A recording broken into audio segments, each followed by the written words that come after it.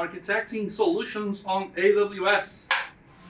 So this course is Architecting Solutions on AWS, and the purpose of this course is to be able to map AWS services to customer requirements.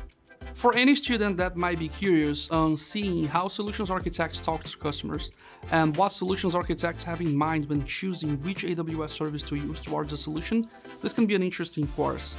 So we kick off each week by doing some role playing one of us is the solutions architect, and one of us is the customer. So, first we have a requirements gathering conversation, and we really are trying to figure out what problem the customer is trying to solve.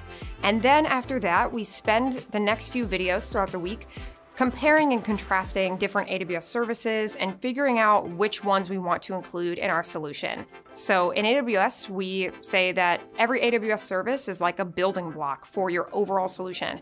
So we had the idea to use physical blocks for this, one representing each service, and we place them on the desk in front of us to build our solution. And we start building infrastructures step by step or block after block to build a final solution that gets presented to the customer at the end of the week. And then finally, Raf and I both act as solutions architects, where we then optimize that architecture. In week one of the course, we're covering serverless solutions. So it's a serverless web backend for a company that sells cleaning products online.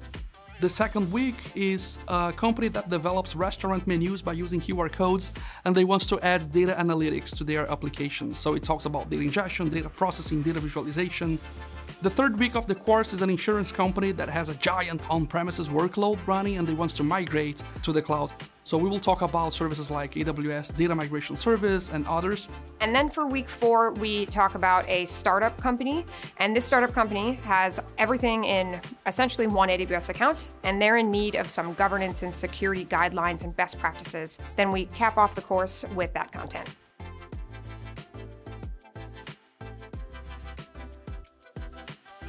Alexa, turn off studio lights. Uh, I'm sorry if that activated your Amazon Echo.